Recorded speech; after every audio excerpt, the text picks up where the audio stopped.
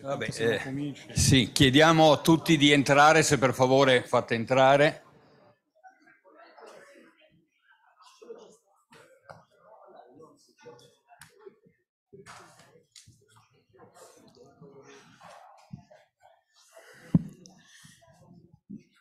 Anzitutto devo comunicare un cambio di programma perché come vedete ci sono io e non c'è Carlo Modonesi che per un problema di natura familiare non è potuto venire. Quindi cercherò indegnamente di sostituirlo cercando di dire anche ciò che lui voleva dire e che ritengo importante. Eh, abbiamo anche un, tempi sufficienti perché c'è stata una defezione, anche qui purtroppo è un periodo di eh, lutti e malattie. E se Carlo Modonesi è rimasto per un lutto, poi abbiamo invece eh, l'amica Maria Grazia Mammuccini, con la quale abbiamo fatto molte cose insieme come ISDE, che a causa di un problema familiare, anche qui una malattia grave di, non, di un familiare, non, non, è potuta, non, ha, non può partecipare. Quindi avremo solo due interventi. Io farò una breve presentazione semplicemente per dire una cosa. Anzitutto che siamo di fronte, anche parlando di agricoltura e sostenibilità, a problemi che coinvolgono in qualche modo l'Unione Europea, perché molte delle norme sono di natura europea, in particolare la politica agricola comunitaria, ma anche tutte le cose collegate, la normativa sui pesticidi di cui si parlerà, eh, eh, la, il tentativo tipo far to fork eh, di eh, rendere in qualche modo l'agricoltura eh, molto più vicina ai cittadini, eccetera, tutte cose importanti, però a mio avviso c'è un grosso problema, che, che fino adesso la PAC, le politiche per i pesticidi, al di là delle, dei nomi usati, greening, eh, nuova PAC, eh, tutto eh, eh, il riavvicinamento con i cittadini, tutto questo, dalle parole ai fatti non siamo mai passati. E ancora oggi, quindi, è un grosso problema, un grosso impegno, io credo, che dobbiamo svolgere come cittadini, come associazioni nei confronti dell'Unione Europea perché questi impegni a parole diventino impegni nei fatti.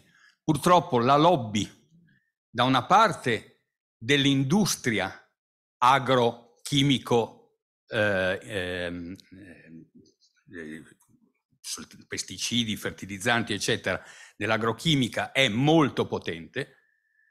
È molto potente lo Stato che ha la più grande fabbrica di questo tipo, che è la Bayer e quindi la Germania, e la Bayer ha anche preso la fabbrica più importante di OGM e pesticidi e, e quindi eh, eh, capite che è anche difficile, eh, lo vediamo con tutta la battaglia che ha fatto ISDE sul glifosato e che eh, si riesce, non si capisce come sia possibile nascondere i dati come si è fatto fino adesso, se non rendendoci conto che stiamo lottando contro dei poteri fortissimi che sono quelli appunto che condizionano tutta l'agricoltura.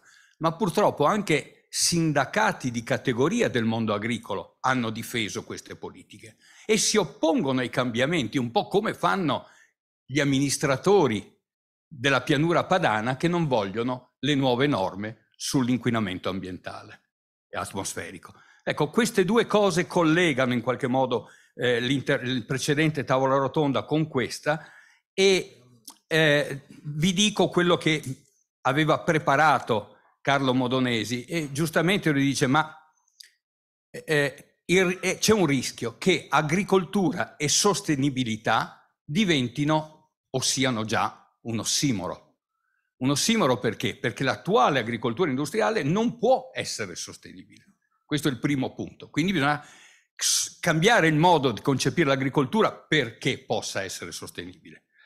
E qui, mh, giustamente, Carlo faceva riferimento a un ossimoro che ci portiamo dietro dagli anni Ottanta, e cioè da quando è uscito il famoso, eh, rapporto della Commissione Brundtland, Our Common Future, dove si parlava di sviluppo sostenibile. È il primo ossimoro che ci portiamo ancora dietro, cioè l'idea di uno sviluppo sostenibile se per sviluppo intendiamo la crescita continua delle produzioni, è assolutamente impossibile. Però continuano a riempirsi la bocca di questo. La cosa grave è che il concetto di sostenibilità in agricoltura dà idea che doveva portare a un cambiamento normativo, legislativo, a, una, a, quella, a quel greening, cioè quella trasformazione più ambientalmente accettabile dell'agricoltura, è diventato semplicemente uno slogan delle multinazionali. Perché se voi andate a vedere, mi, aveva, mi ha fatto avere eh, Carlo degli esempi, e io qui ho davanti, eh, per esempio, la Bayer, che parla di eh, nuove e sostenibili modi di azione in agricoltura, oppure la Singenta che dice che eh, si, occupa, si, impegna a eh, raggiungere gli obiettivi, i goals del, eh, dello sviluppo sostenibile eh, tre, eh, per il 2030, eh, oppure, non so, industrie chimiche, la Sumitomo Chemical che parla di ambiente e sostenibilità, eh, la ehm, ITU della Cargill, Cargill altra multinazionale, sempre la Bayer. Beh, insomma, cosa vuol dire? Il concetto che abbiamo denunciato tante volte del greenwashing è un elemento portante e normale nelle politiche di autopubblicizzazione dell'industria agrochimica eh, e poi anche del, di, di anche settori del mondo. Abbiamo giustamente messo in evidenza come l'inquinamento atmosferico sia strettamente collegato non solo alle attività industriali, ma in forte eh, misura all'agricoltura e soprattutto agli allevamenti, ma sono proprio i produttori di carne che poi si presentano con il nome sotto di eh, azioni di sostenibilità. Addirittura qualcuno che produce carne si definisce bio, poi andiamo a vedere che bio è e vediamo che di bio non ha niente. Cioè questi termini bio, green, greening sono tutti greenwashing. Questo è un dato grave rispetto al quale noi dobbiamo porci un problema, cioè o le politiche per l'agricoltura dell'Unione Europea vanno nella direzione giusta oppure eh, non ne potremo venire fuori perché è impossibile che eh, gli piccoli agricoltori possano stare al passo di grandi agricoltori e di si- sistemi eh, commerciali che strozzano chi produce se non c'è un cambiamento di politiche generali. La conseguenza non la paga solo il cittadino o in primo luogo l'agricoltore stesso, perché il primo ad ammalarsi per i pesticidi sono gli agricoltori. Ma pensiamo alla biodiversità, il famoso discorso dove sono le lucciole, chi ha più visto le lucciole negli ultimi anni? Io a casa le ho, ma non uso pesticidi, appunto, ma tutto intorno dove usano pesticidi, le lucciole non le troverete. E questo io lo uso proprio, venite a casa mia a vedere le lucciole e poi andate intorno dove usano i pesticidi. Qualche motivo ci sarà. Eh, eh, oppure eh, pensiamo alla perdita degli impollinatori. Perdita degli impollinatori vuol dire un disastro ambientale, compreso un disastro economico per l'agricoltura. Negli Stati Uniti arrivano a importare con treni e camion gli alveari in California, dove ormai non, più, non sono più impollinatori sufficienti per le famose eh, prugne della California, per eh, il, varia frutta della California, eccetera, e il posto negli Stati Uniti dove si riesce meglio a allevare le api è il centro di Manhattan. Sembra assurdo, ma è così. Lì non ci sono pesticidi. In cima ai grattacieli funziona benissimo, ci sono apicoltori nel centro di Manhattan. Quindi tenete presente anche come immaginario cosa significa. Beh, quindi il numero di insetti in netto declino e se noi continuiamo di questo passo la biodiversità andrà sempre peggio perché ricordiamoci che la perdita di insetti vuol dire la perdita di tutta la catena alimentare collegata agli insetti. E se gli insetti vengono inquinati e sono mangiati da uccelli, eccetera, eccetera, poi abbiamo tutta la catena. Ma l'agricoltura è responsabile anche di una alterazione dei suoli pesantissima, una situazione per cui l'Agenzia europea per l'ambiente parla di desertificazione della pianura padana, non perché c'è il deserto, ma perché c'è un'agricoltura intensiva e eh, di tipo industriale. Ci sono posti dove si fa mais da adesso sì, hanno deciso, eh, adesso l'Unione Europea ha deciso che non si potrà più fare, che bisognerà fare veramente, vedremo come se non ci saranno le solite deroghe, ma anche lì è una cosa improvvisata, o si programma in una maniera più seria, ma non è che di colpo in bianco tu dici adesso non fai più questo, e, e ci deve essere un coinvolgimento degli agricoltori in maniera adeguata per un reale cambiamento. Ecco, credo che eh, da questo punto di vista eh, fondamentale è realizzare un'alleanza tra cittadini, piccoli agricoltori e eh, coloro che vogliono difendere l'ambiente, associazioni ambientaliste, associazioni come la nostra, cioè creare una unione in cui non viene visto come colpevole l'agricoltore, ma l'agricoltore, d'accordo con i cittadini, individua non quello che deve fare secondo le multinazionali, ma ciò che è giusto fare in rapporto con i cittadini che si impegnano però ad acquistare direttamente, evitando l'intermediazione parassitaria dei grandi supermercati che stanno strozzando l'agricoltura. E quindi qual è il risultato? Che sempre meno avremo piccoli agricoltori. Ma questo è un disastro perché in realtà anche in Italia, come in gran parte del mondo, ciò che sfama il mondo è l'agricoltura contadina e l'agricoltura di sussistenza. Conta molto di più garantire un aiuto all'agricoltura di sussistenza nel sud del mondo, e cioè produrre cibo prima di tutto per coloro che producono, cibo per la comunità intorno a dove si produce, per il villaggio, e non cibo esclusivamente per un commercio globalizzato mondiale, dove gli, sprechi di cibo sono giganteschi e la distruzione del territorio è senza fine. Ma altrettanto vale in Europa e in particolare in Italia. Perché in Italia? Perché in Italia, rispetto al resto d'Europa, abbiamo ancora una gran quantità di piccoli agricoltori. E difendere questi piccoli agricoltori è fondamentale per avere un cambiamento a livello di politica agricola in modo tale che si crei quella coalizione agricoltori-cittadini per produrre cibo sano rispettando l'ambiente, mantenendo la biodiversità. In pratica, come mi suggeriva nei suoi appunti che mi ha dato Carlo Modonesi, la domanda è ma cos'è la sostenibilità? Esiste la sostenibilità? Beh, se per sostenibilità si intende l'efficienza produttiva, non c'è sostenibilità. L'efficienza produttiva viene a scapito del territorio, della biodiversità. Pensate appunto perché oggi la pianura padana è desertificata.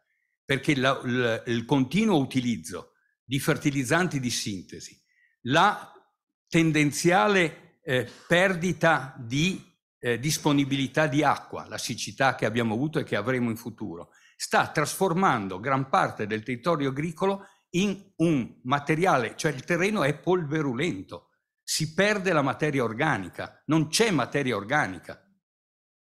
Allora questo si cambia solo se gli agricoltori sono in grado di produrre d'accordo con le comunità, con i cittadini, nel rispetto dell'ambiente, ma avendo la garanzia di guadagno. Perché non si può pretendere che l'agricoltore faccia delle cose giuste rimettendoci lui di tasca sua. Ecco, tutto questo o è una politica, intanto incominciamo a praticarla e poi bisogna pretenderla come politica dell'agricoltura eh, comunitaria e sottraendo soprattutto questo importante patrimonio di piccoli agricoltori al controllo delle multinazionali agrochimiche e al controllo della grande distribuzione parassitaria che li sta strozzando economicamente. Io ho finito la mia introduzione, l'ho fatta anche troppo lunga, eh, ma eh, vorrei... Vorrei adesso eh, dare la parola, domando se c'è Natalia Swartan, che è rappresentante di Pesticide Action Network, eh, PANG-U, ah, vabbè, che dovremmo anche fare una traduzione dell'intervento. Natalia.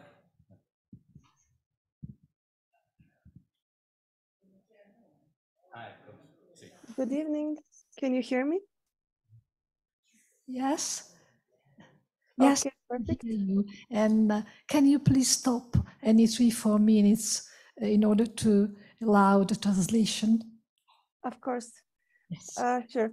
Okay. Uh, good evening, everyone. Buonasera a tutti. Thank you for having me here. I'm Natalia Svrtan from Pesticide Action Network Europe from Brussels. We are always happy to participate in the events of our dear members. So I will say a few words about the uh, draft proposal on sustainable use of plant protection products. Eh, si è presentata e ci dirà, ci ringrazia e ci dirà no, alcune parole sul draft, diciamo sull'agricoltura sostenibile. Please. Uh, thank you. I will uh, share now uh, my presentation with you. Let's see if it will work. Oh, I'm sorry, host disabled participant sh- screen sharing. I don't know if you can enable uh, for me to Potete share the mettere la condivisione? Ce l'avete voi? Pensavo che avesse direttamente lei. One moment. Sure.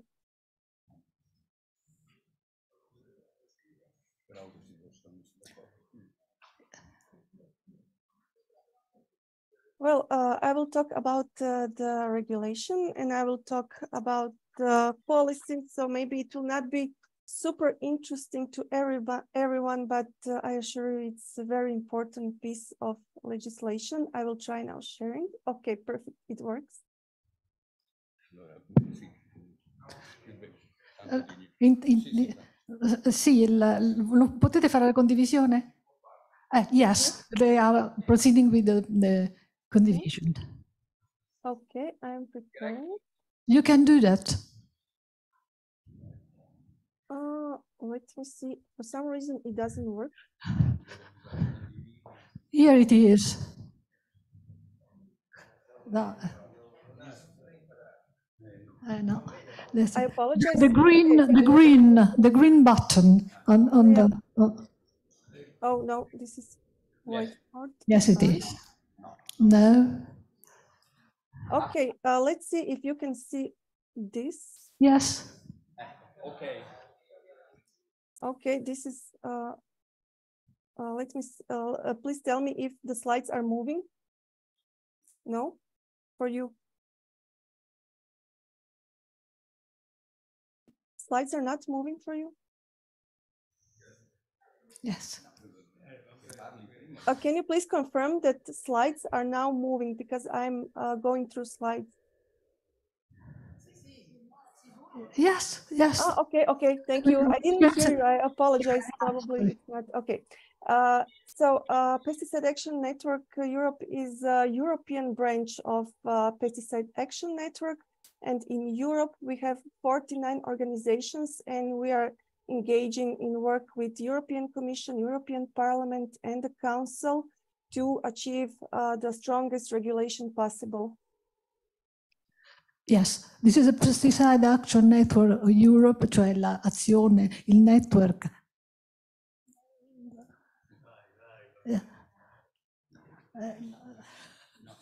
Sorry? Okay.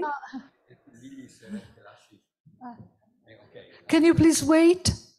È la, è la brancia, l'European ramo europeo di, che ha 60 eh, nazioni in tutto il mondo e mette insieme salute, ambiente e organizzazione dei consumatori e lavora per sostituire l'uso di pesticidi dannosi con eh, alternative ecologiche e si impegna nell'advocacy, nell'analisi delle politiche, nel networking e nelle attività di, camp di campagne.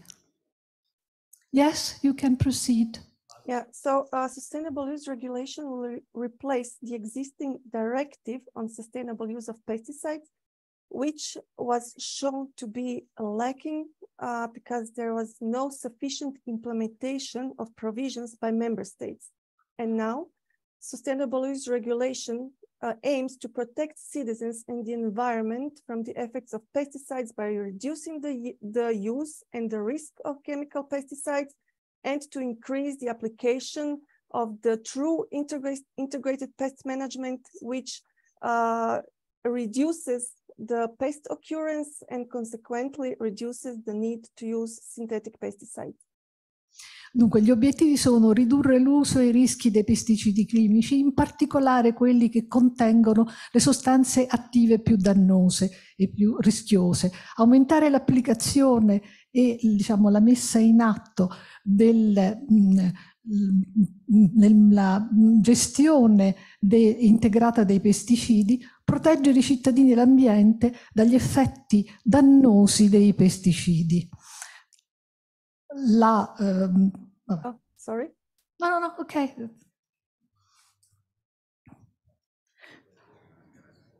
Dunque, la, la, esistente direttiva sull'uso sostenibile dei pesticidi non è messa in atto dagli Stati membri, quindi come se non ci fosse. Ok, you can go on. Uh, so I will tell you uh, the most about the current state of the legislation, but I would just like to say one a few very important things from past, and that is that this uh, uh, proposal was heavily attacked by the conservatives uh, at the parliament. And uh, first, it was uh, the, the publication was postponed uh, because the war in Ukraine started.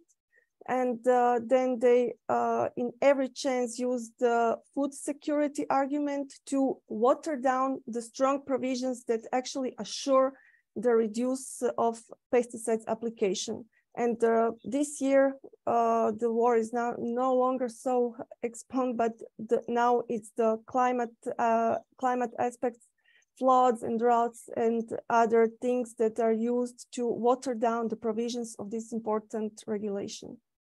Ehm, ovviamente la, il draft è stato pesantemente ostacolato, è stata posposta la pubblicazione per la guerra in Ucraina e diciamo, è stato diciamo, fatto tutto quello che era possibile per diciamo, ostruire il lavoro sulla um, food security e mettere in evidenza altri aspetti tipo il climate change, eh, i flooding e la siccità. You can go on. Uh, yeah, so um, obstruction is done in many ways. And uh, one of the things that uh, really slowed down the work on the regulation was the request to commission to submit the additional study to the existing, existing impact assessment. And uh, in the December last year, the proposal was adopted and the commission published the impact assessment in July this year. And in addition to that, uh, EPP, MEPs, members of the European Parliament of the Conservative Party, they tabled huge number of amendments that really uh, slow down the work on the regulation.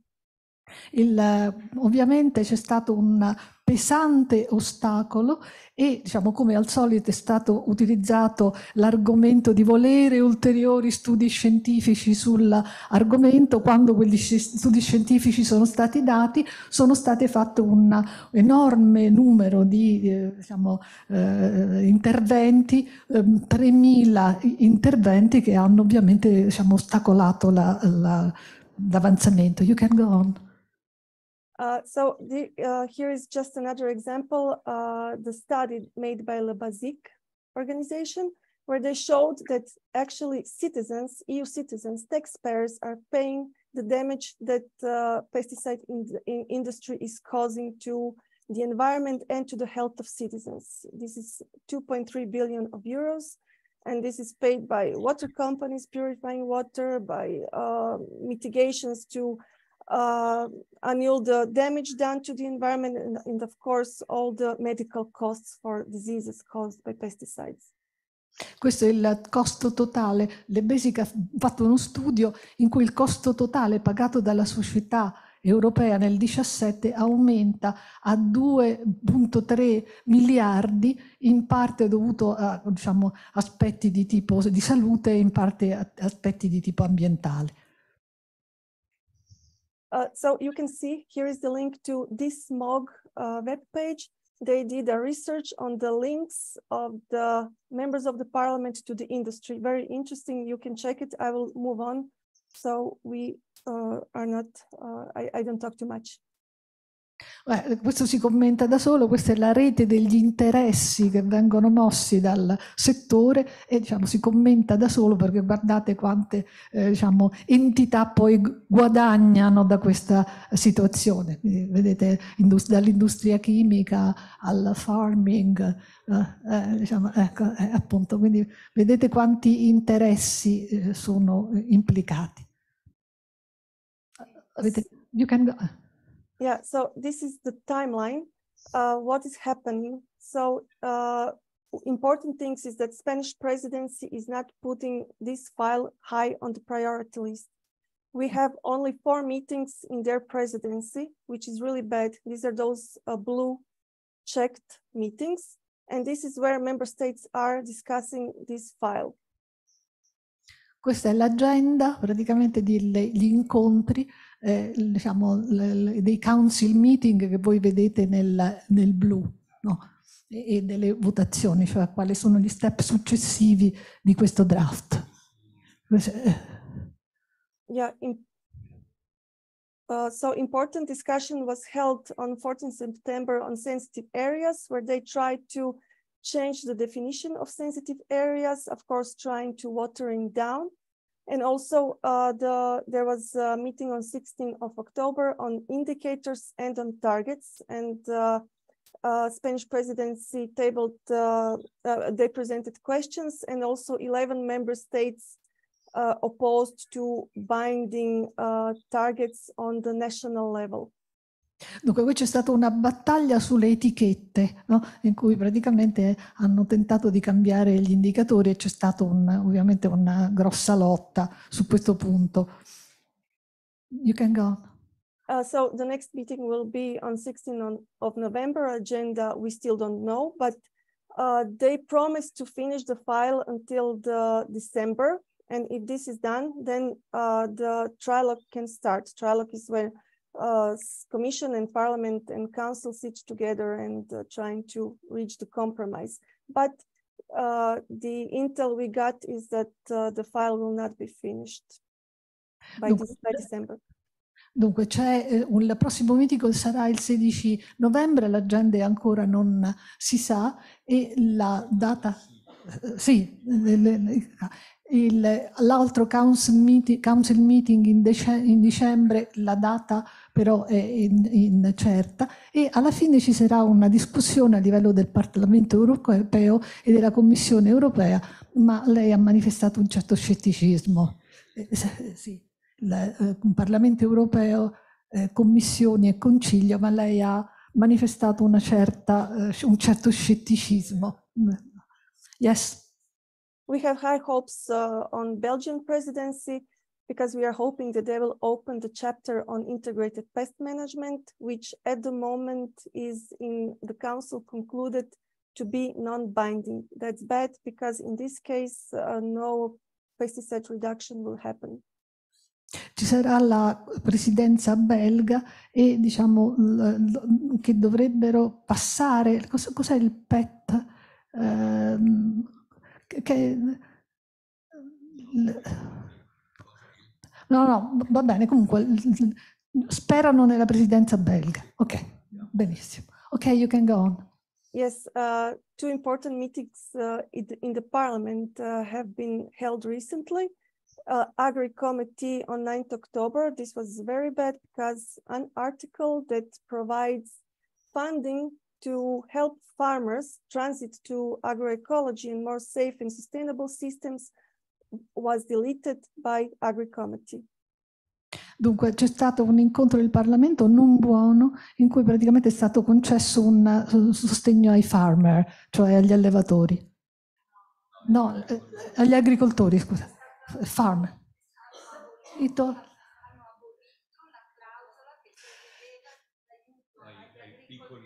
Ai piccoli agricoltori, sì. Sostegno per la... Yes. So there is still hope that this will be uh, corrected at the plenary voting in November. And uh, now next week we have a voting at the Envy committee. We received compromised amendment and some of them are really bad. So the situation is not really the best at the moment. So we have to work hard to preserve very strong provisions that will assure that uh, pesticide reduction will happen. Eh, c'è ben poca speranza ovviamente che questa cosa venga modificata e che venga rimesso questo uh, sussidio uh, nella, prossima, nella prossima riunione. Okay, uh, I've been talking a lot, so I will speed up. Um, my time is up. Uh, I don't know if I have still a few minutes to finish. Yes, you can go on. Okay. so the main problems of the proposal is that uh, member states and MEPs are opposing to binding national pesticide reduction targets and to their calculations. So uh, member states got different reduction targets. Italy is at 62%. Dunque, gli Stati membri si oppongono alla riduzione, la riduz i target per l'Italia sono eh, da, dal 35 al 65, al 62%. Sì, sì, da 2%. Sì, quindi il 35-65 sono in generale per le altre nazioni, mentre invece per l'Italia il target è molto... Certo, certo. E armonizzare gli indicatori di rischio con una metodologia che, calcol, che calcoli la riduzione dei target. Ok? Yes, so harmonized risk indicator is the biggest threat to this file because at the moment as it is, it shows that more risk pose those active substances used in organic agriculture than those that are really toxic, like for example, fungicides. This indicator needs to be improved. Dunque, un aspetto molto diciamo, importante è calcol il calcolo della metodologia della riduzione del rischio perché alcuni indici non la calcolano accuratamente, cioè diciamo, indici teorici ma non, che non la calcolano in pratica. Ok? So, uh, many members of the parliament ask for the replacement for synthetic pesticides but they uh, do not want to hear our message that only through integrated pest management, starting with preventative measures, and then with continuing with uh, physical and mechanical uh, prevention uh, uh, means of uh, dealing with pests, and then biocontrol, and then low risk active substances should precede the use of chemical pesticides.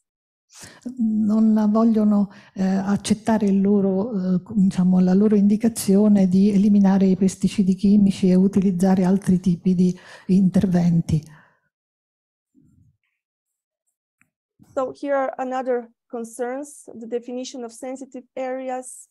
Maybe you can just read it just to speed up. Dunque, la definizione di aree sensitive delle zone eh, neutrali intorno di eh, diciamo, ammortamento intorno alle aree sensitive in modo tale che non si eh, diffonda un eh, sistema di eh, consiglio eh, di, di, indicazioni indipendenti a supporto degli agricoltori, ehm, degli sostegni sulla salute ehm, eh, occupazionale e non occupazionale e eh, dei diritti di sicurezza per le persone che ci sono impiegate, per i lavoratori. Informazione pubblica disponibile, principio di precauzione, eh, tassa, cioè il principio l'inquinatore paga. Ok? Okay, uh, uh, so uh, we are engaging EU citizens in our fight. And we recently published a report where it is clear that EU citizens want pesticide reduction because they are concerned about the, their health and the health of their families. Yeah, questa è una survey che è stata fatta che indica che i cittadini vogliono questo cambiamento. Eh, sono preoccupato circa come i pesticidi vengono utilizzati nell'agricoltura e nella produzione del cibo e diciamo, eh, causa un danno alla mia, alla mia salute e alla famiglia, alla salute della mia famiglia. Come voi vedete, strongly agree, cioè quelli che fermamente eh, assumono questo punto di vista sono 76%, quindi la grande maggioranza delle persone è preoccupata per la propria salute e per la salute della propria famiglia rispetto diciamo, all'uso dei pesticidi. Lì vedete la differenza nelle varie nazioni che è anche interessanti, in Romania dell'84%, in Polonia dell'80%, in Spagna dell'80%, in Francia 78%, in eh, eh, Danimarca del 72%, quindi diciamo con una grossa variabilità ma la media è elevatissima. Quindi i cittadini chiedono un cambiamento di passo. Ok? Thank you. So uh, I will skip the next slide. You can see, you can uh, search on our web page, Play It Safe report, where you will see also other results. I will skip because I'm uh, really late. And uh, I just want to finish that uh, pesticide reduction has a strong support from EU citizens, which was prove, proven in ECI Safe Bees and Farmers on Eurobarometers and at the, on the conference of the future of Europe. Come vedete c'è un forte sostegno dei cittadini dell'Unione Europea, un milione e uno di cittadini europei eh, chiedono un'Europa libera dai eh, pesticidi. Thank you very much and thank you for your patience for this uh, Thank you. Thank you for interpretation. Grazie. E sì, credo che sia molto importante per le cose che dicevo prima. Tra l'altro, la, quella che è scritto ECI, cioè l'iniziativa europea, è... Ah, no. È come... Vabbè. Dicevo, è molto importante rendersi conto che si parlava prima del ECI, cioè iniziativa europea dei cittadini che con un milione di firme chiedono alla Commissione di intervenire. È l'unico modo che c'è a livello europeo per indirizzare le politiche comunitarie direttamente dal basso. Purtroppo quasi sempre la Commissione ha ignorato le altre iniziative dei cittadini, speriamo che questa volta invece magari rispettino la volontà. Eh, sì, sì. Eh, bene, passiamo al secondo intervento, eh, in questo caso è il dottor Enrico Veschetti che è qui presente dell'Istituto Superiore di Sanità. Sì, grazie. Allora, buonasera a tutti, eh, ringrazio gli organizzatori per l'invito, eh, per me ovviamente è un piacere poter condividere eh, quello che noi stiamo facendo all'Istituto Superiore di Sanità e in collaborazione ovviamente con altri enti di ricerca nazionale sul settore dei pesticidi. Io in particolare in questa presentazione vi parlerò dei pesticidi nelle acque nazionali, sono tutti dati ufficiali che potete trovare diciamo già pubblicati, quindi sostanzialmente io ho cercato di assemblare le varie slide in modo da darvi una panoramica della eh, situazione. Eh, gentilmente se può passare alla successiva. Ah, no, eh, un attimo. Ah, sì, sì, grazie, grazie. Ok, perfetto. Eh, insomma, importante. Allora, incominciamo innanzitutto con quelli che sono i dati sulla vendita dei prodotti fitosanitari e dei principi attivi che sono contenuti in questi prodotti. Allora, questi sono dati che sono stati resi disponibili dall'Istat nel, nel 2020 e sono relativi al periodo che vanno dal 2011 al 2020. Allora, nella prima eh, diapositiva vedete sostanzialmente qual è il tasso, eh, diciamo, con ovviamente delle oscillazioni eh, annuali eh, di eh, decremento delle vendite dei pesticidi. Eh, siamo praticamente a una riduzione del 15% rispetto al valore di 140.000 tonnellate che avevamo nel 2011. Eh, lo stesso decremento lo abbiamo avuto, più o meno lo stesso decremento, un 20%, lo abbiamo avuto sui principi attivi che sono pres presenti in questi prodotti. Ora, se andiamo a scorporare questo dato che è aggregato tra i vari principi attivi per categorie, vediamo che ovviamente eh, la parte del leone lo fanno i fungicidi, che ah, ovviamente anche in questo caso hanno eh, subito in modo altalenante una riduzione, eh, diciamo che comunque eh, ricalca sostanzialmente i dati che abbiamo visto. Le altre categorie impattano ovviamente una misura nettamente eh, inferiore, in alcuni casi abbiamo avuto delle oscillazioni, se ad esempio vedete la parte dei vari eh, sostanzialmente non c'è stato un vero decremento. Con vari si intendono tantissime sostanze che poi vedremo nelle successive slide, eh, che possono avere anche una tossicità che al momento non è stata eh, ancora eh, compresa eh, nella loro interezza. Quindi sostanzialmente noi spesso e volentieri facciamo riferimento a delle sostanze canoniche che sono state utilizzate in passato e che purtroppo ancora stiamo ritrovando poi eh, in varie matrici ambientali oppure in quelle che sono attualmente più in uso. Ora eh, vedete eh, elencate diciamo, le sostanze più vendute, intese quelle che superano le eh, mille tonnellate annue nel triennio che va dal 2018 al 2020. In particolare quelle marcate in rosso eh, sono quelle non monitorate pur essendo classificate pericolose. Quindi sostanzialmente queste non rientrano nella categoria poi che vedremo successivamente per le analisi. E vi segnalo anche che tra l'altro c'è il Manco ZEP che non è più utilizzato dal 2021 ma che ovviamente si ritrova ovviamente adesso nelle matrici perché prima che eh, verrà smaltito occorreranno decine e decine di anni. E eh, nell'ultima eh, rappresentazione abbiamo la distribuzione dei prodotti eh, fitosanitari eh, per tossicità. Eh, sono praticamente tre le categorie, molto tossico e tossico eh, sono quelle indicate in rosso, eh, nocivo sono quelle in viola, non classificabile a livello diciamo di almeno per quanto se ne sa, perché poi in realtà anche qui i dati non sono eh, diciamo completi, quelli ovviamente in grigio e vedete il tasso di riduzione sempre passando dal 2011 al 2020 che ovviamente è stato più marcato nel caso della categoria eh, molto tossico e tossico. Ancora, continuando con i dati Istat relativi alla vendita dei principi attivi, in questo caso li possiamo classificare per unità di superficie agricola utilizzata.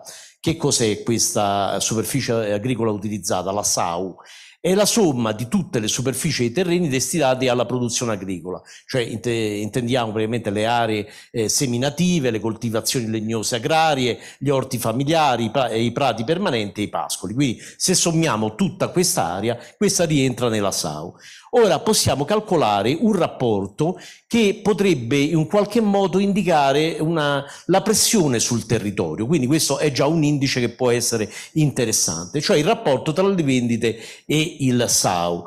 Se andiamo a vedere nel diagramma in alto, vediamo che nel, diciamo, il maggior impatto eh, lo si ha soprattutto nel, diciamo, nel nord e ovviamente in altre regioni. L'Italia si colloca sostanzialmente sul eh, 4,4 kg diciamo, di eh, principi attivi venduti per ettaro di SAU e eh, come vedete praticamente abbiamo eh, l'impatto maggiore che eh, al nord che è 6,8 questi sono i dati ovviamente aggregati centro isole centro sud e isole più o meno è lo stesso eh, diciamo valore Ora, questo indice, che comunque ci dà un'indicazione eh, sulla pressione del territorio, però ha delle limitazioni che sono state ampiamente riconosciute, cioè non indica praticamente l'uso, l'intensità e la frequenza dei trattamenti in un'area. Quindi in realtà va sempre comunque preso come con le pinze, ma comunque è diciamo un'informazione in più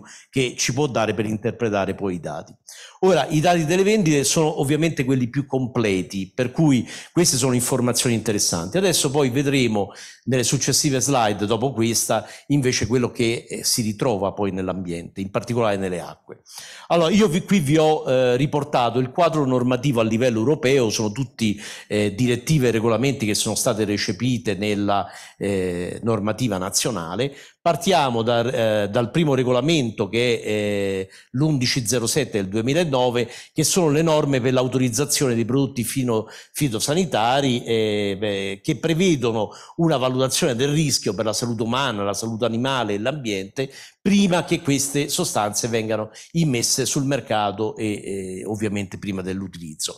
Ovviamente eh, quando eh, diciamo questo regolamento è stato emanato teneva conto di una serie di criteri di valutazione che nel tempo si sono resi sempre più complessi perché eh, sono state scoperte, cioè gli avanzamenti scientifici hanno consentito ovviamente di mettere in evidenza in luce degli aspetti che prima non erano presi in considerazione. Quindi eh, il regolamento ovviamente dà una serie di mh, indicazioni che però eh, sono in continua evoluzione. Abbiamo poi la direttiva 2009-128 che riguarda praticamente eh, l'uso sostenibile dei pesticidi, in, modo particolare descrive tutte le azioni preventive a vari eh, livelli di intervento poi passiamo invece a quello che è l'utilizzo, cioè il regolamento 396 del 2005 che fissa dei limiti massimi dei residui nei prodotti di origine vegetale e animale che sono destinati al consumo umano.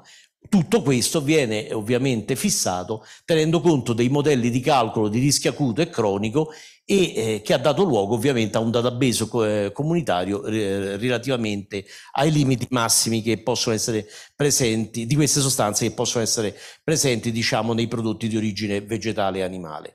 Poi alla fine abbiamo due normative molto importanti che sono un po' l'impatto sulla risorsa idrica. L'ultima che è la direttiva quadro e che beh, si è declinata ovviamente con una serie di direttive eh, sorelle come vengono chiamate a livello europeo e in particolare la direttiva 2008-105 che è quella per la, eh, gli standard di qualità ambientale per le acque superficiali e eh, la eh, direttiva 2618, eh, la corrispondente per le acque sotterranee. Tutto questo poi eh, tiene conto invece dell'ultima direttiva sulla quale noi stiamo lavorando in modo intenso, che è la 2020-2184, eh, che è appunto la, eh, quella più recente, che ha sostituito la direttiva 9883 sulla qualità delle acque destinate al consumo umano. E in questo caso eh, si fissano dei limiti, eh, diciamo, per quanto riguarda la presenza del singolo pesticida e della somma dei pesticidi che si possono ritrovare all'interno di un'acqua, che sono rispettivamente 0,1 e 0,5 microgrammi litro. Passiamo adesso invece a quelle che sono le attività di monitoraggio sul territorio nazionale. Ora, in questa slide vedete rappresentate rispettivamente per le acque superficiali e per le acque sotterranee, ovviamente relativamente al dato eh, 2020-2020, quello che sono le attività di monitoraggio che vengono eh, svolte regolarmente dalle regioni province autonome tramite ovviamente i laboratori pubblici dell'ARPA e delle APPA. Sostanzialmente eh, questi laboratori sono incaricati ufficialmente di effettuare il monitoraggio sul territorio e vedete com'è la distribuzione dei punti di monitoraggio. E uno dei problemi purtroppo che viene spesso riscontrato, perché questi sono tutti dati che poi ISPRA eh, ottiene periodicamente da, da, dalle singole regioni, e qui che sono obbligate a, com- a, comunicare ovviamente questi dati per poter fare le analisi aggregate e poi trasmetterle anche a livello europeo. E uno dei problemi purtroppo che si riscontrano è che in alcuni casi alcune regioni non rispondono. Un esempio è nel biennio 2019-2020 la Calabria non ha fornito alcun dato e per quanto riguarda invece la Puglia eh, i dati sono solamente eh, relativi a quelle delle acque sotterranee. E quindi sostanzialmente, eh, eh, no scusate, delle acque superficiali, mancano le, le, acque sotterranee. Per cui ovviamente ci possono essere dei buchi in questa rappresentazione che ovviamente non consentono di avere il polso completo della situazione nazionale. Però quello che c'è da dire è che se confrontiamo le attività che sono state svolte dal 2011 al 2020, sia per le acque superficiali che per le acque eh, sotterranee, c'è stato un progressivo miglioramento in, nella, nella, ricerca, nell'attività di monitoraggio, in termini di incremento dei punti di monitoraggio, del numero dei campioni presi per punto di, monitora- di monitoraggio e quindi del numero dei campioni totali e delle sostanze cercate. Questo è molto importante importante perché eh, il, il, settore dei pesticidi è un settore in continua evoluzione. Ogni anno vengono sfornati nuovi principi attivi, quindi ovviamente è importante riuscire a intercettare nel, eh, nelle matrici ambientali e in particolare nelle acque eh, la loro presenza. Ora, eh, allo stato... Prego? Nel 2020 abbiamo avuto il cosa? Abbiamo avuto il Covid. Eh, questo è il problema. Infatti stiamo aspettando il 2021-22 che sicuramente ci sarà l'incremento. Il 2020 purtroppo è stato un disastro per tutte le attività. Quindi non tenete conto proprio dell'ultimo anno perché quella è stata diciamo una cosa particolare. Allora, eh, sostanzialmente allo stato attuale sono circa 406 le sostanze ricercate, però vi segnalo che 38 dei quali già si conosce l'elevata pericolosità non vengono ricercate. E la domanda potrebbe essere perché non vengono ricercate? E perché, eh, diciamo, ricercare eh, una varietà così elevata di sostanze chimiche è un lavoro estremamente sfidante per i laboratori analitici perché devono utilizzare delle tecniche costosissime, eh, non tutti i laboratori sono attrezzati per poter fare questo tipo di indagini e in più de- bisogna mettere a punto dei metodi che siano ovviamente poi accreditati, perché se il metodo eh, diciamo non ho de- de- diciamo delle sostanze di riferimento, le-, le-, le strumentazioni non sono state tarate, calibrate opportunamente, i metodi sono stati verificati, rischio di dare ovviamente dei numeri che non hanno un significato scientifico. Per poter far questo occorrono ovviamente mesi e mesi di lavoro per ogni nuova sostanza che viene prodotta. In pratica l'industria fa prima a sfornare nuovi principi e, e ovviamente poi c'è una rincorsa affannosa a introdurre queste nuove cose, tenendo poi conto che ovviamente sono analisi costosissime. Per cui eh, occorre pure dei finanziamenti pubblici per poterle ricercare, perché altrimenti, eh, come si dice, eh, senza soldi non si canta messa. Questo è un po' il discorso. Ora, qui vedete sostanzialmente la densità dei punti per unità di superficie utilizzata eh, che sono stati ovviamente monitorati, diciamo, per le acque superficiali e per le acque eh, sotterranee. E adesso vediamo invece i risultati di tutte queste attività, che è la parte forse che ci interessa di più. Allora, innanzitutto partiamo dalle sostanze che sono state più trovate. Se le dividiamo nelle tre categorie, cioè gli erbicidi, eh, i fungicidi e gli insetticidi, li vedete rispettivamente verde, rosso e blu, con ovviamente quei spicchi più eh, chiari che rappresentano i metaboliti, che sono addirittura poi le sostanze più numerose e più pericolose che si possono sviluppare, perché sostanzialmente le sostanze madre si decompongono, però si decompongono non completamente, formano dei metaboliti e delle volte i metaboliti sono più attivi della sostanza iniziale. Beh, vedete che il, la parte del leone nel caso delle acque superficiali la fa gli erbicidi che sono all'incirca tra erbicidi e metaboliti degli erbicidi sono il 43%. Nelle acque sotterranee addirittura arriviamo al 50%. Ecco, eh, se invece andiamo a eh, diciamo, suddividere eh, questo, eh, diciamo, questi diagrammi che rappresentano un po' la, le categorie in uno spaccato che rappresentano i singoli composti che sono quelli più ritrovati. Come vedete, per quanto riguarda le acque superficiali, abbiamo il glifosato, glifosato diciamo in inglese, il eh, metalacloro e, e l'AMPA. L'AMPA è un metabolita del glifosato e l'AMPA diciamo prevalentemente è un metabolita, poi vedremo che in realtà può avere altre origini ed è per questo che spesso si ritrova eh, anche molto di più rispetto a quelle che sono le stime teoriche. E questo nel caso delle acque superficiali. Nelle acque, diciamo, sotterranee ancora ritroviamo i metaboliti dell'atrazina che sono stati ormai, diciamo, l'atrazina è stata messa al bando ormai da, da, da, da diversi anni, e però nonostante questo quel, diciamo, eh, tipo di, di, mh, mm, eh, diciamo, di metabolita è molto resistente, persistente e quindi continua ovviamente ad affliggere eh, diciamo, gli acquiferi sotterranei, che ovviamente sono poi quelle che possono essere captati ai fini idropotabili. Anche le superficiali comunque rientrano in questo discorso.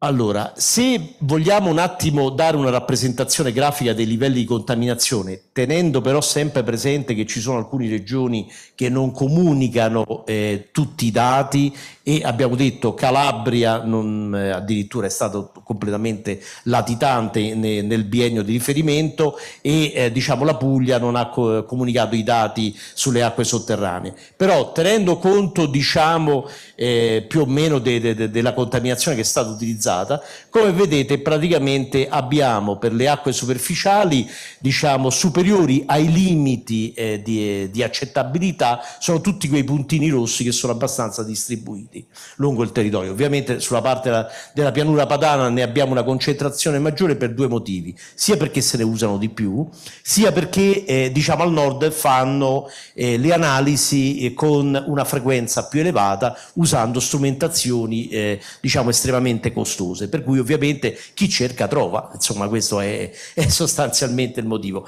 Però non diciamo eh, probabilmente è una figura che non, mh, non dà eh, una, una reale situazione su tutto il territorio nazionale. Probabilmente se fosse possibile eh, utilizzare lo stesso sforzo che viene utilizzato al nord anche nelle altre regioni, sicuramente il numero dei punti rossi aumenterebbe anche diciamo, al centro e al sud e vedete ovviamente una situazione un po' più diciamo blanda per quanto riguarda le, i livelli di contaminazione per le acque sotterranee e sostanzialmente se facciamo i calcoli aggregati rispetto ai punti di monitoraggio circa il 31% dei punti monitorati avevano eh, diciamo per quanto riguarda le acque superficiali delle concentrazioni al di sopra degli standard di qualità per cui al di sopra di quelli che erano i limiti imposti dalle normative europee e nazionali. Sì, prego. Sì, sì, sì, sì, sì, no, no, ma ass- allora assolutamente, però ah, infatti ho fatto una premessa. Allora, la Calabria non ha proprio risposto, almeno per quanto riguarda quel biennio. Poi gli altri, ovviamente, bisogna andare a vedere le altre, le altre cose. Io ovviamente mi riferisco all'ultimo biennio perché sono gli ultimi dati ufficialmente disponibili. Adesso stiamo attendendo eh, i successivi. Però come già ho anticipato, eh, alcune regioni eh, rispondono, però non fanno analisi a 360 gradi come lo fanno ad esempio diciamo, in Lombardia eh, o in altre regioni diciamo, del, del, del, nord, in particolare la parte centrale del nord. Questo purtroppo è un altro problema, per cui questi dati eh, in qualche modo indicano che c'è un problema, ma non è eh, una reale rappresentazione della distribuzione nazionale. Questo è una cosa che ci tenevo in qualche modo a, a sottolineare. Infatti questo è uno dei, dei, diciamo, dei, dei problemi che bisogna risolvere nel futuro, cioè investire di più per cercare di ottenere dei dati che siano più rappresentativi anche a livello nazionale, perché finché non si conosce il problema ovviamente poi non si può attuare una reale politica per la difesa della qualità delle acque. Sì. Eh, quasi la metà dei dati dei rilievi dell'acqua superficiale, addirittura quasi l'80% di quelle sotterranee non sono quantificabili, cioè hanno fatto in maniera inesatta, in maniera incompleta. No, no, no, no. Quando eh, si dice non quantificabili vuol dire che sono al di sotto del limite di quantificazione, cioè sono state fatte le analisi, però il valore è inferiore al limite di quantificazione. Limite quantificazione vuol dire, allora, in, in, chimica, in, no, in chimica analitica la parola assente non ha alcun significato, però è l'equivalente dell'assente. Si dice non rivelabile. Sono i dati migliori, ovviamente. Sì, sì, no, questo è il, eh, diciamo, il significato di, di, di, quel termine.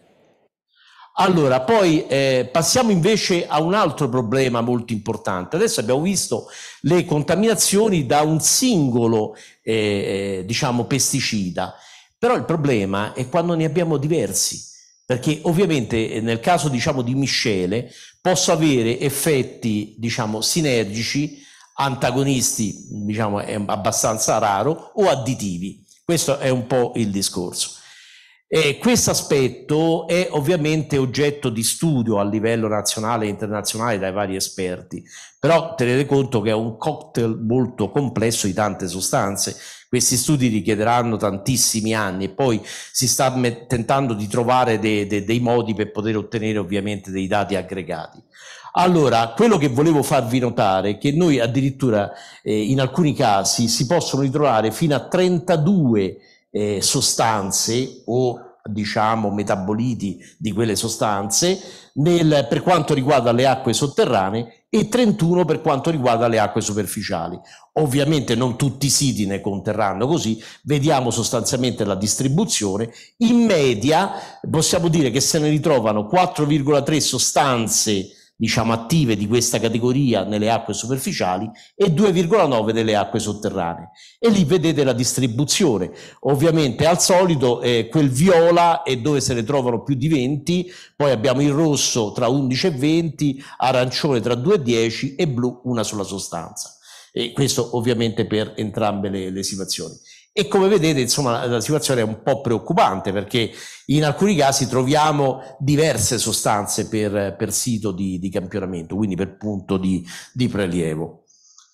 Ora, eh, questa è l'ultima slide con la quale diciamo, vi do un attimo delle indicazioni su quelle che sono le sostanze che più superano gli standard di qualità ambientali. Le vedete rappresentate diciamo, in questi due diagrammi, eh, ovviamente rispettivamente per le acque superficiali e per le acque sotterranee, in particolare eh, ovviamente il il glifosato o eh, l'AMPA che è appunto il, diciamo, il suo metabolita, eh, però ecco l'AMPA oltre a essere metabolita del glifosato può essere generato anche dalla degradazione di altri composti fosfonati che vengono utilizzati nell'industria tessile, nell'edilizio, nel chimico, oppure vengono addirittura rilasciati dai depuratori dei reflui, cioè quando entra un composto fosfonato che oggi viene utilizzato ad esempio come sostituto eh, del, diciamo, dei composti azotati che venivano una volta messi nei detersivi, sapete questi non possono essere più utilizzati perché beh, per il problema dell'eutrofizzazione, beh però qualcosa bisogna metterci perché il, eh, i tensi attivi non saponificano, cioè non sono in grado di fare il loro lavoro di ponte tra la macchia e l'acqua, perché hanno una testa polare, una testa polare che fa questo lavoro, non sono in grado di fare questo discorso se c'è durezza nell'acqua e molte acque ovviamente hanno la durezza. E quindi eh, si potrebbe risolvere il, eh, il, sistema mettendo degli addolcitori, delle resine addolcitrici all'interno della lavatrice, così come lo si fa per la lavastoviglie. Però ovviamente l'elettrodomestico costerebbe molto più, diciamo, avrebbe un costo molto più elevato. Allora, per evitare questo discorso, eh, eh hanno messo dei complessanti, cioè che bloccano il calcio e il magnesio e lasciano al tensioattivo di svolgere la propria attività. Tra questi ci sono i fosfonati. I fosfonati, una volta che entrano nel ciclo dei depuratori dei reflui, eh, generano AMPA, che ovviamente ha una sua tossicità, eh, che si aggiunge a quella che è prodotto dal glifosato. Quindi mh, delle volte si dice AMPA eh, metabolita del glifosato, sì, è vero, ma attenzione, c'ha tante altre origini che possono essere anche, diciamo, più impattanti del glifosato stesso. Ovviamente una volta ottenuto l'AMPA la sua tossicità è quella, eh, perché la molecola è quella, quindi indipendentemente dall'origine, insomma. Poi abbiamo le triazine e i metaboliti, ad esempio abbiamo detto la trazina, la trazina è stata messa a bando, però i metaboliti della trazina si ritrovano ancora a concentrazioni elevatissime, soprattutto nelle acque sotterranee. Poi abbiamo i neonicotinoidi, No, allora si trovano un po' diciamo in tutte le regioni, in particolare nel nord Italia, perché sono percolate eh, in profondità. Questo è eh, sì perché venivano utilizzate, poi il problema eh, che eh, sono state commesse degli errori anche a livello impiantistico perché sono state fatte delle perforazioni profonde senza eh, incamiciare eh, le, le, tubazioni, per cui hanno messo in comunicazione le falde eh, più superficiali con quelle più sotterranee e sono arrivate fino a 300-400 metri di profondità come contaminazione, cosa che non sarebbero mai arrivati per semplice percolazione. Quindi questo delle volte anche errori diciamo gestionali nella creazione dei pozzi eh, hanno poi determinato, perché poi una volta è contaminata una falda idrica per recuperare, de, come nel caso dell'atrazina, insomma, servirà qualche secolo, insomma, quindi non è, non è, una cosa semplice, anche perché c'è un ricambio molto lento e la degradazione di queste sostanze è molto bassa, la, il tipo di flora microbica non è tale da poter aggredire questi metaboliti, eccetera, eccetera, eccetera. Insomma, ci sono tantissime situazioni che poi ne favoriscono ovviamente la permanenza. Allora, tornando alla terza categoria, queste sono molto importanti per quello che si diceva prima, cioè sono praticamente causano la perdita di biodiversità. Tant'è vero che ultimamente sono state messe volutamente dall'Unione Europea nella watch list. La watch list sono le, eh, diciamo, quelle liste di osservazione eh, che, dalle quali poi derivano eventuali limiti eh, successivi, se è il caso, perché c'è il rischio di moria delle api, proprio perché sostanzialmente agiscono pesantemente su, sulle api. Poi ovviamente abbiamo altre sostanze, insomma le vedete qui elencate, la, la particolarità di questi erbicidi è che sono, hanno proprietà PBT, cioè sono persistenti, bioaccumulabili e tossici quando hanno questa caratteristica qui PBT eh, ovviamente bisognerebbe cercare di evitare il loro utilizzo. Però eh, diciamo si sta tentando piano piano di metterle al bando e ovviamente servono delle evidenze molto forti perché come potete immaginare l'industria poi si oppone eh, ovviamente a queste azioni. Però quando si arriva a delle eh, diciamo evidenze a livello europeo a questo punto l'Unione Europea le mette a bando poi c'è un periodo perché è chiaro messa al bando poi eh, bisogna dare comunque il tempo di eh, smaltire le scorte. Comunque questa roba è persistente quindi me la ritrovo per i prossimi 50 anni loro o i suoi metaboliti. Questa è un po' la situazione. Una cosa positiva però che c'è da dire questo ovviamente è la situazione sulle acque diciamo superficiali e sotterranee così come sono le acque che noi utilizziamo ai fini idropotabili che derivano da queste tramite processi di potabilizzazione, fortunatamente i processi di potabilizzazione sono in grado di intercettare la stragrande maggioranza di queste sostanze. Oggi poi abbiamo messo a punto delle tecniche non target, che significa che non andiamo a cercare solamente alcune sostanze, ma eh, cerchiamo il più possibile di vedere uno spettro di massa, cioè una rappresentazione, una fingerprint, un'impronta digitale di tutte le sostanze che possono essere presenti. Quando queste superano un certo eh, livello vengono identificate e quantificate e ovviamente bisogna intervenire, si dà a disposizione ai gestori acquedottistici perché ovviamente possano cambiare i sistemi di trattamento per ovviamente intrappolarli. Io con questo ho concluso. Sì.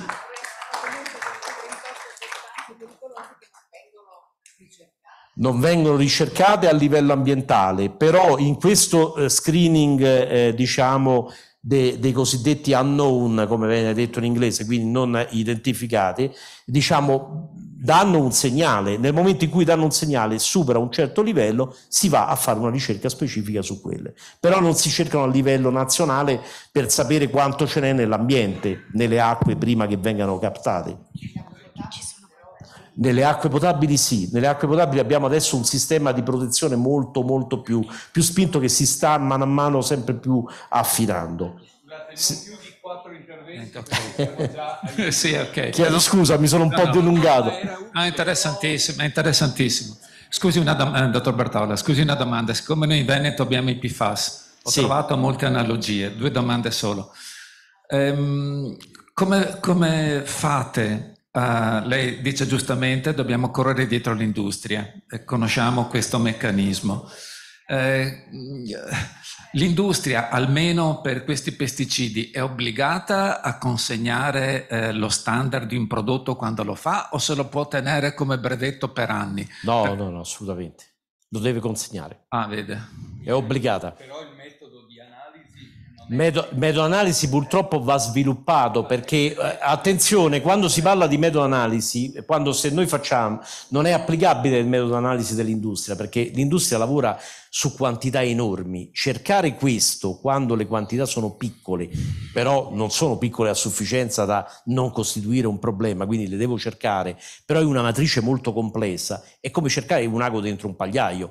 Quindi met i metodi analitici devono essere in grado di estrarre selettivamente queste sostanze, fare il cosiddetto clean up, cioè levare tutte le interferenze eh. e poi andare a, allo strumento più appropriato per poterle vedere. Ok, ma tutto capisco la difficoltà, ma se non ha la matrice, questo è inutile, cioè se non ha lo standard quella sostanza lì, non no, no, vengono, un... vengono, devono essere per forza fornite e poi c'è comunque alcune di queste sostanze vengono reperite direttamente da, dal mercato, per cui sostanzialmente si parte da, da, diciamo, dal prodotto concentrato. Seconda cosa, mi scusi, bellissimi sì. dati ISPRA sì. di tutto il, il... Sì. Voglio dire, ISPRA poi lo comunica al Ministero, il Ministero prende, delle, eh, eh, prende dei provvedimenti in base ai punti di monitoraggio o rimangono finalizzati a se stessi? Perché... Sì, allora, no, il problema, il problema è questo, la, la, catena in qualche modo è questa. Innanzitutto è necessario effettuare queste analisi perché sono un obbligo di legge, facciamo parte di una rete europea, quindi questo deve essere comunità, eh, comuni viene comunicato alla Commissione europea, entrano in database ci sono database nazionali e internazionali. Quello nazionale lo potete anche consultare voi se entrate nel sito de, dell'ISPRA. E quindi tutti quelli che concorrono a produrre questi dati devono dare poi i dati che vengono ovviamente recensiti da ISPRA perché istituzionalmente gli è stato dato questo compito. E noi li utilizziamo anche per le acque potabili. Sì.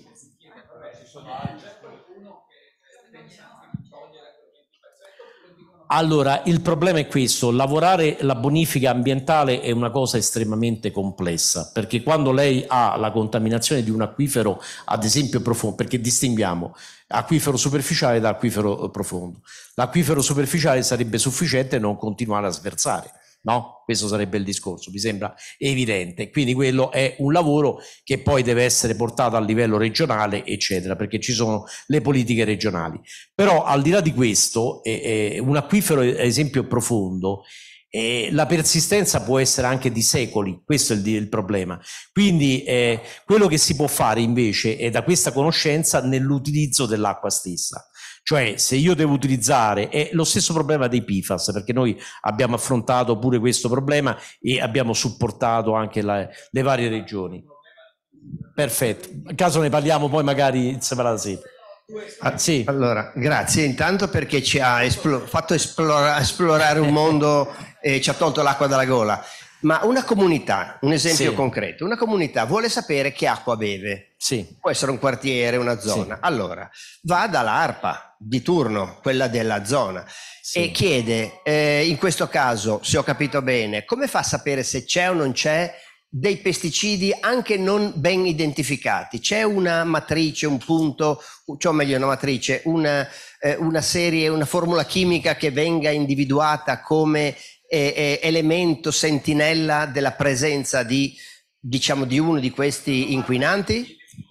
No, si può allora, si può? La risposta, si, si la può, risposta è può. brevissima. Grazie. La risposta è brevissima. Noi come eh, Centro Nazionale per la Sicurezza dell'Acqua, CENSIA, che è l'acronimo, eh, stiamo sviluppando un database che si chiama ANTEA, Anagrafe Nazionale Territoriale sulle Acque, eh, che sarà consultabile innanzitutto da, ovviamente dagli operatori eh, nazionali, racchiuderà tutti i dati eh, per quanto riguarda le qualità delle acque diciamo, distribuite, quindi quelle che beviamo eh, a casa diciamo, prendendole dal rubinetto e per quanto riguarda la, l'accesso al dato, perché questo ormai è un obbligo inserito nella nuova direttiva sulla qualità delle acque destinate al consumo umano, eh, ci sarà la possibilità da parte di eh, qualsiasi consumatore di entrare in questo database e vedere com'è la composizione generale della propria acqua.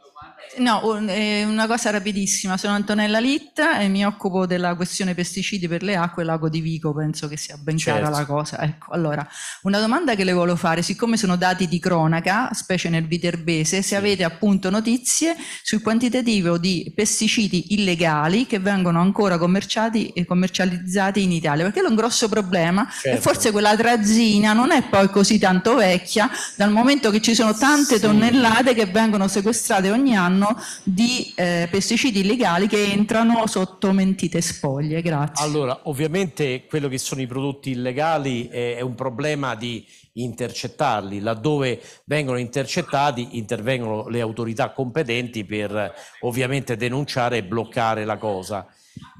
E quanti, quanti ne sono stati utilizzati? Ovviamente questi sequestrati, sequestrati ce ne sono tantissimi, ci sono i dati eh, per quanto riguarda questo discorso, però è ovvio non possono, eh, ciò che non, è, non emerge perché è, è un'attività illegale, è come sostanzialmente quanti stupefacenti girano in Italia, è lo stesso punto interrogativo, wow. cioè si può parlare di quello che viene sequestrato, ma non di quello che è filtrato da, da, dalla rete. Scusate, purtroppo... ma eh, c'è un problema di tempi, dobbiamo uscire. Vi dico soltanto, siccome avrei dovuto fare le conclusioni, ma è finito il tempo, vorrei però fare una piccola conclusione. E cioè abbiamo fatto tre diverse eh, eh, sessioni tavole rotonde, apparentemente molto diverse, regionalismo differenziato, inquinamento atmosferico, agricoltura e sostenibilità. Bene, io vorrei ricordare che come ISDE non li vediamo separatamente, è un tutt'uno, perché questo, come altri argomenti, rientrano nella nostra visione di complessità ed insieme. Per esempio, quando abbiamo parlato di Covid, ci siamo resi conto che se non c'è un sistema sanitario adeguato, e abbiamo visto a quali rischi stiamo andando incontro, abbiamo visto che là dove l'inquinamento atmosferico è maggiore, la, il livello di eh, casi più gravi era maggiore, ma abbiamo visto anche, e l'ha fatto eh, l'Università di eh, Pisa